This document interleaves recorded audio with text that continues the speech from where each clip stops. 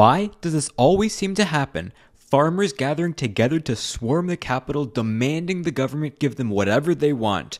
No, really, it happens all the time, all over the world. Farmers in the Netherlands, Argentina, Indonesia, France, Belgium, Finland, India, Cyprus, France, Serbia, Spain, Germany, and wow, France again are all part of this trend, and these are only some of the protests in the last five years alone. These farmers brought scenes of blocked roads filled with tractors, hay bales burning in the city square, and literal poo sprayed all over government buildings to generally protest for higher food prices the result of what we would call protectionist policies. Whether that policy be a special tariff for imported food, limiting the amount of foreign food that can enter the country, a quota, subsidies given to local farms, or a guaranteed minimum price that their food will sell at. Many protest for these, even if it ends up costing the average Joe a pretty penny. And you know what? You've got to hand it to the farmers. They almost always end up winning these protests. Across the world, agriculture is easily the most protected and paid for industry, despite the fact that when food prices are higher, well, you eat food, almost everybody in the country is worse off. So, why are there no consumer protests? Or at least consumer protests with a specific goal of, say, limiting tariffs or ending subsidies on certain food products? There's no mob parading the streets demanding that 76 cents be taken off carrot prices through the abolition of a tariff rate quota. But the reverse? It happens multiple times a year all over the globe. I love farmers as much as the next guy, but seriously, why do they keep doing this? Well, let's start off with one of the most important foods, especially to most people watching this video sugar. Americans in particular absolutely love their sugar. They're the world's third largest consumer of it, and on average, Americans consume nearly three times the recommended limit. Whether you like it or not, sugar is very important to the American diet. You can't have a healthy breakfast of Froot Loops and orange juice without it. And perhaps because of its belovedness, sugar is an incredibly protected industry in America through quotas set on how much every country can export to the US, to price floors that sugar is guaranteed to sell at, to limits on how much each American sugar farmer can grow, the American Sugar Alliance has pushed the powder to be twice as expensive in the US as in the outside world. An average world price of around 18 cents per pound versus about 34 cents in the United States. There are two massive costs to this.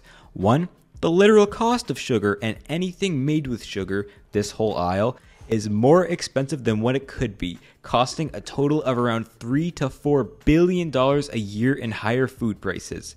Second, there are tens of thousands of food manufacturing jobs that could be made if sugar prices weren't so high, an estimated 20,000 of them in 2022 versus around 4,000 sugar farming and refining jobs that would be lost from the lower prices. This sugar protection is essentially a mass transfer of billions of dollars from our poor consumers and manufacturers to big sugar so that they can collect their sugar rents and bribe Congress with all of their sugar money.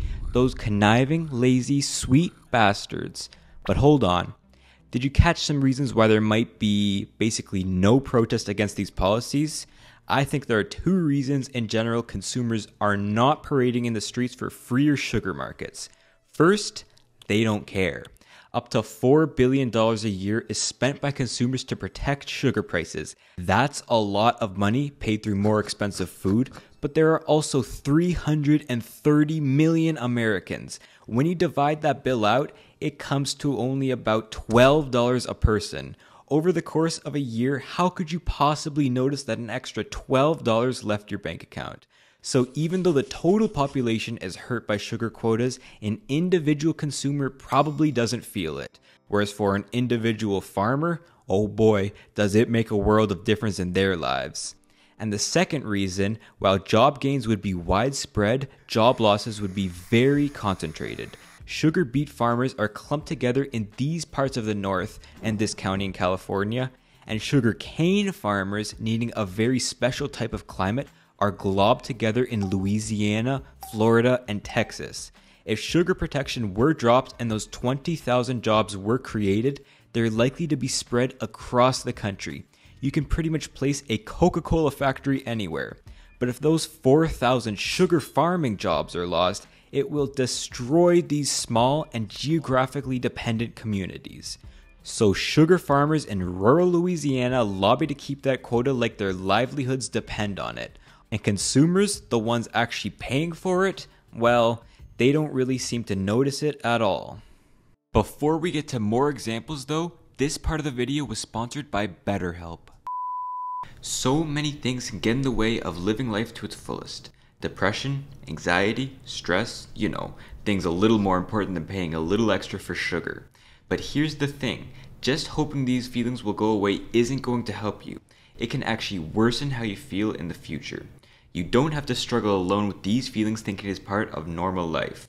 Therapy can help to deal with these issues by letting you approach life from a different perspective, and BetterHelp wants to give you the tools to do this. BetterHelp is an online platform that will connect you with a licensed therapist trained to listen to you and give you unbiased, helpful advice. You can access it from anywhere on earth, on your phone or computer, and just by answering a few questions, you will be matched to a therapist that best supports your need, usually within 48 hours. From there, you can set up a phone call, video chat, or messaging, whatever you feel most comfortable with, to start talking with them in the easiest possible way for you.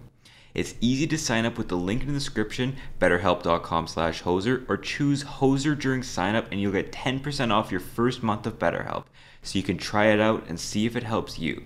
If you feel like you need feedback for anything holding you back in life, then check it out. So I want to thank BetterHelp for sponsoring this video, and now let's get back to something I think is holding everybody back. Higher food prices.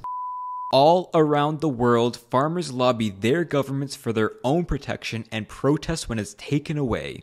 Obviously, though, there are more reasons these are in place than farmers simply lobbying the government and consumers not caring. For example, in many countries, farming families are a form of welfare. You can always go back to the farm if you fail to make it big in the city. Food happens to be a pretty key part of national security. You might want to keep it at home just in case something happens to the outside supply. It could help to alleviate urban rural inequality, especially in newly urbanized countries. It's just logistically easier to organize a couple thousand geographically concentrated people with a common goal rather than a couple million spread over the country with a rough idea of what they want and the countryside always pops up in nationalist visions. It's pretty easy to play at our hearts and ask for protection when this is the image you show the lawmakers. Still, there are so, so, so many examples of this simple lobbying succeeding. Japan has a 341 yen tariff on every kilogram of imported rice, in part giving them the second highest rice prices on earth. The average Canadian house pays around $400 a year in milk, cheese, and butter to fund our own dairy supply management. South Korea has a tariff rate quota on pretty much all foreign food out there, and for 17 years, Australia had banned Japanese beef imports long after a mad cow disease outbreak spread across the country in 2001. Some of the acrobatics to get around trade restrictions can get pretty creative too like when American catfish farmers lobbied to have Vietnamese catfish renamed to Basa to protect their market share, the US government storing billions of pounds of cheese in underground caves from past efforts to prop up its price, Japanese lobbyists trying to ban American beef from entering the country because Japanese digestive systems are different than American ones, and when US lobstermen pushed for a minimum size requirement to be put on lobster imports.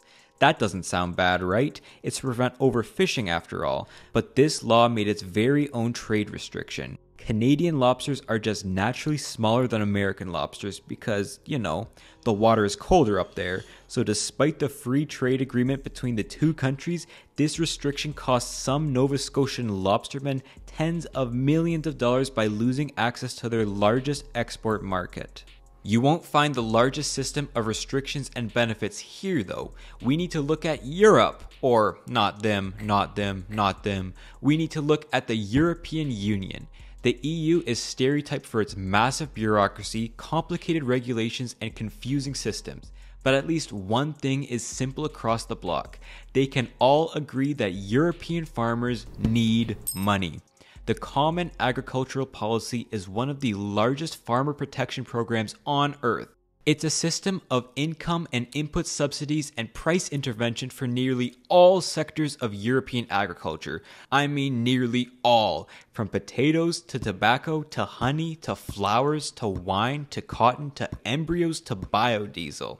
In 2019, the CAP spent over 60 billion euros across 13 million farmers, with the bulk of them being in Eastern and Southern European countries. So, despite agriculture making up just over 1% of the EU's GDP, agricultural subsidies make up about a third of the union's entire budget. The EU spends about as much on the CAP as it does on energy, defense, administration, the European Social Fund, transportation, buildings, Erasmus, and its Horizon Europe program combined.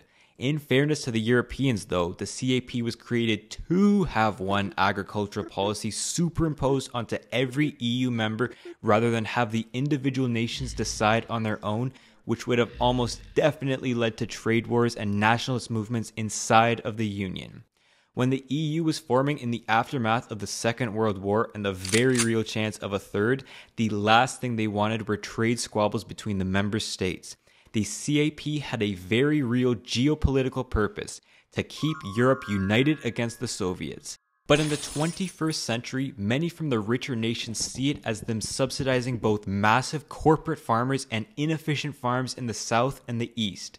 The average German pays around 170 euros to the fund every year, but the average Romanian only around 60 euros, despite them having the most farmers in the EU. And that's just the cost of the subsidies alone, not even including the implicit costs and higher food prices and lost jobs. So, does the CAP still serve a purpose today? Yeah, the political project of Europe would be much weaker if Dutch farmers were constantly beefing with German farmers. Many rural communities would be devastated, and it keeps European farms regulated and moving toward a common goal. Now, if you think that's a benefit or not, that really depends on your worldview. These farmers don't seem to think regulation helps them all that much. But like all other agricultural protection, it comes at a cost. Europe's cost happens to be unique in that it's not just unevenly shared across income levels, it's unevenly shared across different nations as well. Good luck trying to take it away though, because if you do, you might end up in a situation similar to India's. In 2020, the introduction of three farm acts intending to deregulate agriculture in India sparked not just backlash for farmer protection, but one of the largest protests in human history. Unlike in Europe, where farmers' powers are mostly political, Indian farmers have massive social and democratic power. Over 40% of Indians work in agriculture and they make up around a fifth of India's income, with just under two thirds of Indians living in a rural area. Farmers are not just a powerful group in parliament, they are the bulk of the population. So, these laws, in an attempt to make agriculture more profitable, would allow farmers to sell directly down the supply chain rather than through a government run market you know, selling rice directly to food processors or grocers or supermarkets, not always to government bureaucrats. There's exactly the problem. Many farmers did not want to be put at the mercy of corporations. A typical sale of wheat would involve negotiating with a commission agent to get the highest deal possible, then selling it in an auction place to specifically government licensed traders. Even though going through at least three levels of sales before the food reaches your plate is quite inefficient, many farms depend on this sale right here and the stability it guarantees. Supporters of these bills argue that corruption and collusion among licensed government traders forced farmers to accept whatever the so called Mandi Mafia gives to them. But opponents argue that price floors and minimum support prices are what many farmers depend on to support themselves and their families. Plus, the system has been in place since the 1960s. Why take it away all of a sudden? So instead of tractors blocking the streets of just New Delhi, after these bills were introduced, tractors blocked the streets of nearly every capital and major city in the country. Waves of people showed up to support the farmers. Tens of millions, no, hundreds of millions of people took part. And after a year of these massive protests, the heart and soul and voice of the nation ended up winning. Prime Minister Modi isn't one who's really known for compromise, but after a year of insisting to farmers that they would be better off under these new laws, even he had to back down. Farmers just always win. Maybe we can make sense of all of this using imaginary graphs. I know, I know, a lot of people make fun of these incredibly theoretical graphs for simplifying the real world too much, but I think you guys are gonna like this one. Okay, it's two axes. One with the amount of profit made on something, and the other, the marginal cost to produce another of that thing. Along the bottom will be different companies or people or nations of varying efficiencies, with the most efficient down here with the lowest costs. Now we can draw this graph. The more efficient a producer is, the more profit they make. Seems reasonable. Now imagine a change. Any change that both shrinks the production cost and gives them higher profits. It could be through technological progress, or free trade, or through monopolizing or consolidating an industry. With this change, our graph would shrink like this so that there's one graph before the change and one after. Now we can split it into three sections. These guys, the most efficient producers, would obviously welcome this change. Their profits would be much higher. The middle section, seeing lower profits, would protest against it. And as for the last section, well, they would be too inefficient in this new world and would go out of business. If we use this imaginary world to think about trade, we should expect the most efficient firms and countries to be the ones pushing for free trade whereas the less efficient guys, say a small farm, to be pushing for protection like their lives depended on it. Maybe it's an entire nation pushing for protection, like what China does with cotton. China is by no means the most efficient producer of cotton on earth. The cost to produce cotton in China is around 20 cents higher per pound than in South Asia and as much as four times higher as some African nations but in part because of its $40 billion subsidies given to its cotton farmers, China is the world's largest cotton producer. These subsidies and a 40% tariff have created much pain for poorer Pakistani or West African farmers whose environments and skill sets are much more geared toward cotton production than Chinese farmers' but cannot sell as much to China since they're already covered by their own farmers countries in Africa dependent on cotton exports are at most risk with these subsidies. But as the world's largest consumer of cotton, being the largest textile manufacturer, China has the power to shape the cotton market to its will.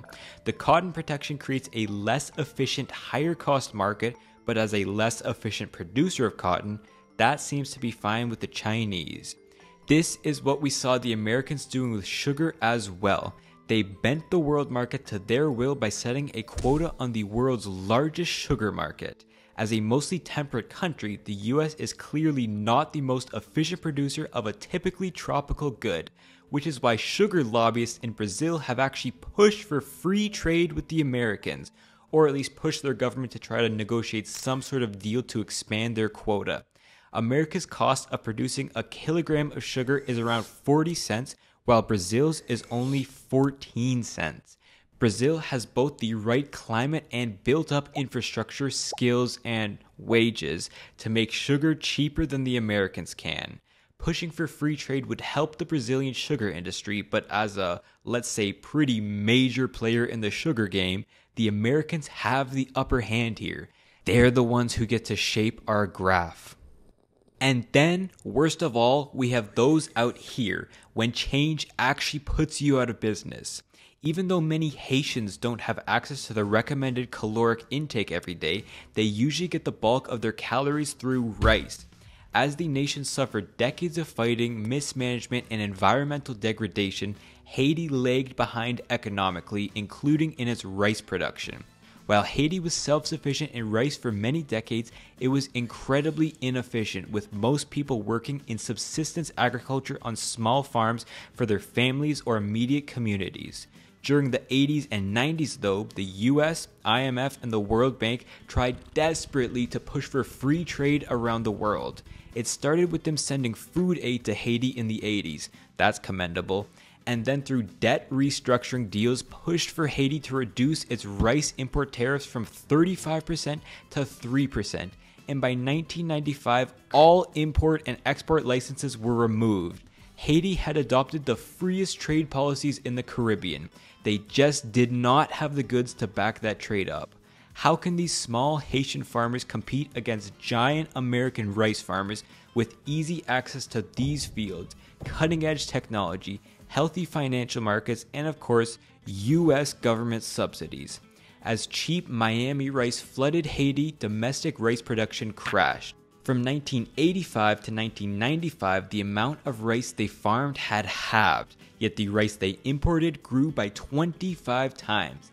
Even in 2020, Haiti only grew 75,000 megatons of rice, much below their 1990s average of around 125,000. There's just no incentive to grow race when American race undercuts almost everyone in the country.